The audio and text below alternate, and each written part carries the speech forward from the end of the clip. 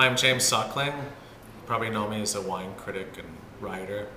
Uh, today was really special for me because uh, actually I launched my wine, a charity wine. It's just a sort of a one-off thing for now. Spoke about my website, which is coming out in about three weeks. But uh, One Wine, One World is all about harmony, peace, about how wine brings people together, people, different people with differences in life and religion, but they come together over wonderful glasses of wine.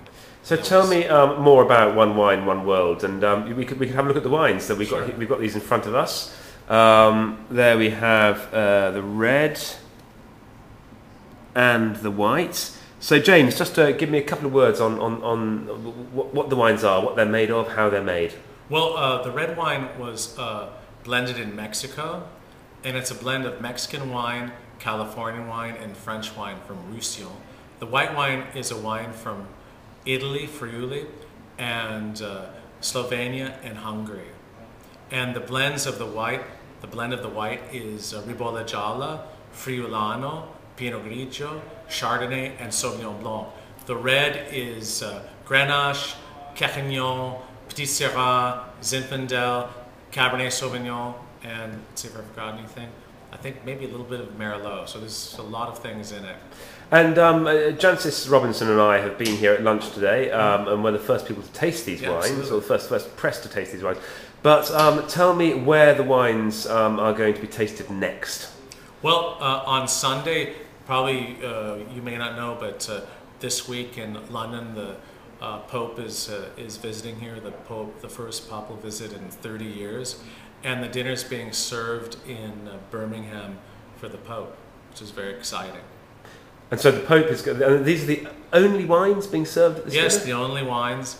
And uh, it was really uh, the whole thing came about. I made these wines particularly for this event because my good friend uh, David Khalili, who's a philanthropist and uh, one of the top uh, art collectors in the world of Islamic art and Japanese art, he had this wonderful foundation called the uh, the Maimonides Foundation, which is an interfaith foundation uh, to bring Jews, Christians, and Muslims closer together. And I told them about this idea in my mind that I said, well, what if what if we blended wines from the world?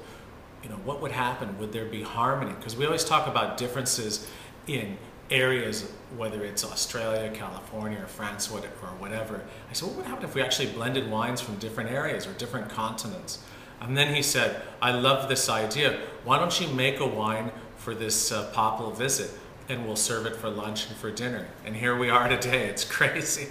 So um, this is your first move after after leaving Wine Spectator. Now you left Wine Spectator in um, July. End of July, yeah. End of July this year.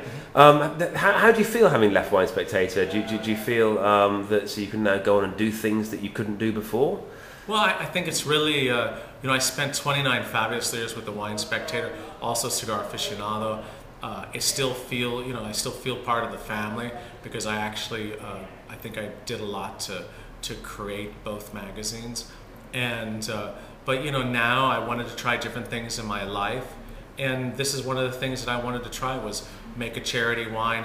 I have my, my website, which is going to be mostly video because I think that nowadays everyone knows the written word is becoming less and less important, particularly with the younger generation.